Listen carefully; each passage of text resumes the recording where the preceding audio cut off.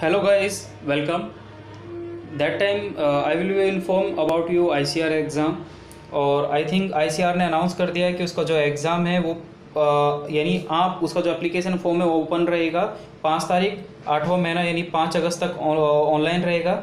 तो वहाँ पे जाके आप कुछ अपनी इन्फॉर्मेशन जो है जो उसने लिख रखा है वो कुछ ऐसे है।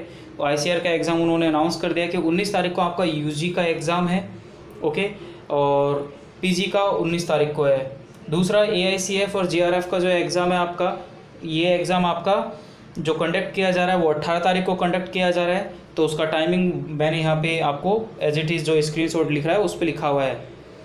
थर्ड यहाँ पे एक सेकंड इन्फॉर्मेशन यहाँ पे ये है कि आपका जो आ, मेल है जो आपने ईमेल आईडी दी होगी वहाँ पे एक इन्फॉर्मेशन दी गई है वो ईमेल आईडी में कुछ ऐसे लिखा हुआ है कि जो री एग्जामिनेशन दोबारा कंडक्ट किया जा रहा है वो अट्ठारह उन्नीस अगस्त को है।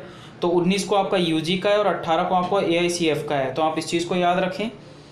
दूसरा आपकी उस ईमेल आईडी में एक और चीज़ क्या लिखा हुआ है? आ, वहीं पे आपकी जिस साइट पे आप क्लिक करोगे तो एक आपकी एक साइट पे आपको ले जाएगा। दूसरा वहाँ पे लॉगिन आईडी और कुछ पासवर्ड लिख रखा है। तो लॉगिन आईडी आपकी वही पुरानी वाली है। एक न्यू पासवर्ड जनरेट किया गया है।